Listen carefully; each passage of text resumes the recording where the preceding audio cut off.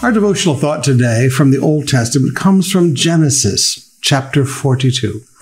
And I want us to take a look at Joseph's life. Because my theme today is just this Joseph's life was not all easy. Let me say that again. Joseph's life was not all easy. Now, yesterday we saw that Joseph was put in charge by Pharaoh and put in charge properly.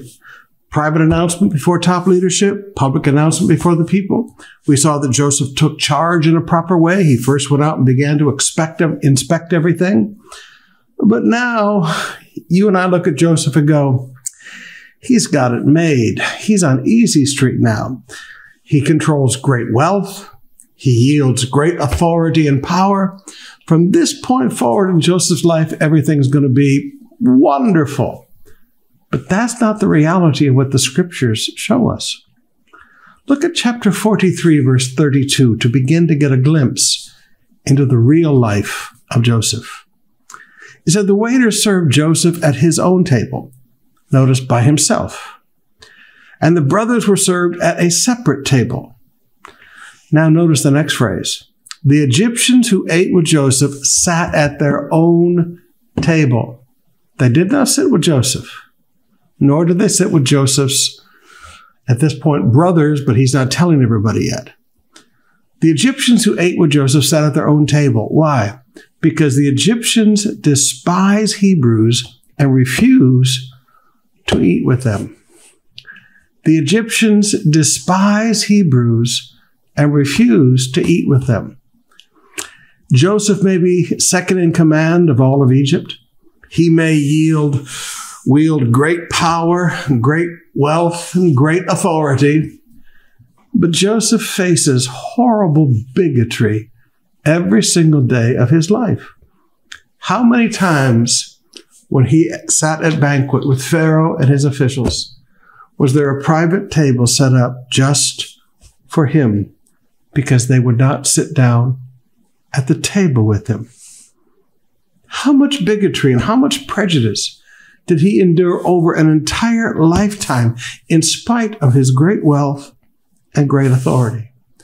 How many sneers did he face as he rode the chariot of the second in command through the city? How many comments and innuendos from those in Pharaoh's court? How many, how much resentment did he face from people who looked at him and saw his wealth and his power and his authority and were jealous and envious and despised him for it. Now, when you look at this, you go, Grabe talaga, I'd never thought about what Joseph's life was really like. Yes, he was there to rescue Israel. Yes, he was there to, to hold the promise and to keep the promised people alive during great famine. And yes, he had great wealth and he had a big home and he had a lot of prestige. But he faced horrible bigotry every single day of his life. Now, here's my straight talk for you today. There's something you have to ask yourself. You know, sometimes we think about our workers overseas and we think that they have such a nice life. Well, first of all, it's not as nice as Facebook makes it look like because I've been in their homes. Their Facebook life and their real life, very, very different. But if you're going to go work overseas, I don't care what nation you go to, we're still Pinoy. Can you face the jealousy and envy when people look at your success? When God's hand of blessing comes upon you and you have success, when you get the promotion that, forgive me, person who lived there did not get, and you got the promotion and not them? Now, beloved, at some point or another in your life, you're going to have to realize the best place to prosper is right here at home.